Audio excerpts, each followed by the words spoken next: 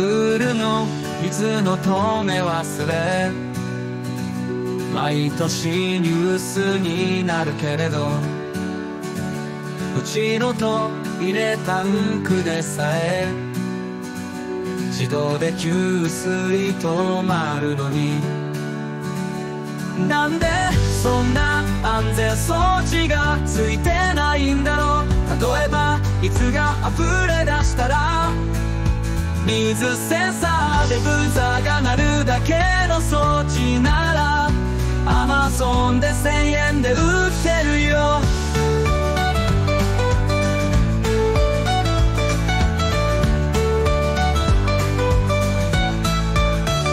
クールの水の止め忘れ。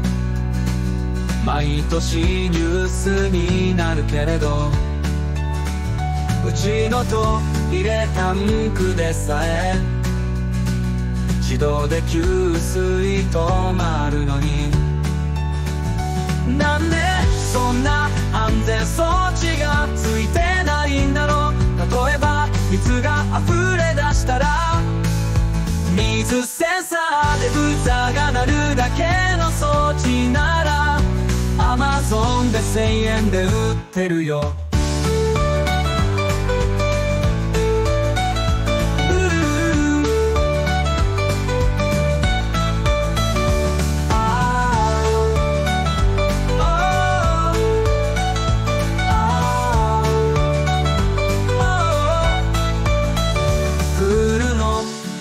度止め忘れ。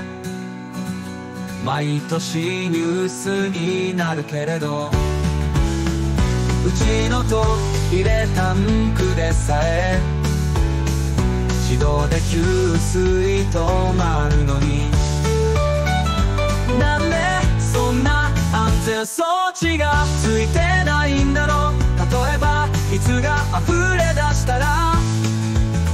水センサーでブザーが鳴るだけの装置なら Amazon で1000円